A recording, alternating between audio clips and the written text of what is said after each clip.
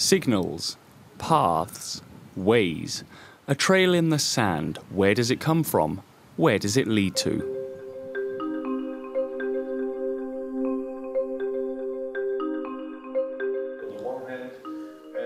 Toxicologists are tracking traces. Scientists within the SEURAT 1 research initiative want to replace animal testing. People prefer to work now on material from human beings, so cells acquired from yeah, a human being, also for the establishment of in vitro systems. Cells instead of animals, in vitro instead of in vivo. Cells are passing signals along lines that can be conceived as pathways. Toxicologists made use of that fact and developed a new concept toxicity pathways.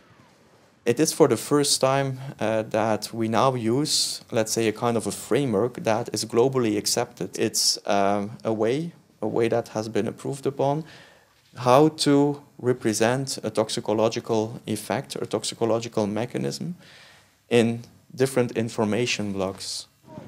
Toxicity pathways are organized in streams of information which constitute a chain of events at the end of which organs become damaged. As toxicologists link these patterns with organ failure, SEURAT 1 scientists deal not only with cells but also with organs. One of the central focal points in this context is the liver. See, the liver is the gatekeeper of the human body. It is our industrial center. It makes sure that the sugar level, protein level, fat level, and amino acid level, toxin level are all regulated within our circulation. It is vital to understand the interactions between different types of cells within the liver. SEURAT 1 scientists have achieved a breakthrough in the field of in vitro testing.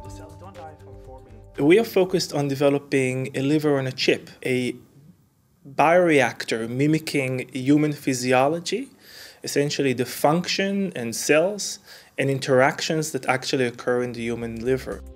This mounting contains the liver on a chip, when adding a chemical, different sensors monitor the cell changes in real time. This process opens new perspectives for testing chemicals.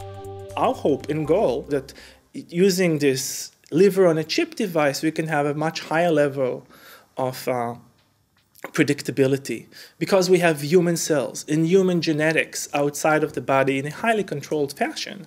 And we can screen the compounds with a high level of uh, prediction to ensure safety of chemicals use.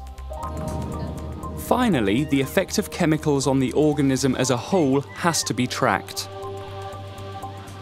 This is enabled by computer models, through which we can predict how a particular chemical substance will be distributed within the body and which organs will be harmed in the process. You can really build up a human within uh, uh, your computer, and this computer can simulate what's really happening to the chemical within the body. It really helps to have a kind of human surrogate. And so you don't need to have any more animal testing, and uh, uh you uh, are creating a, a new tool uh, to assess safety exposure levels for the humans. It's still a long way to go until animal testing will be completely replaced in chemical safety assessment. The first steps, however, have been made, and the pathway concept looks promising.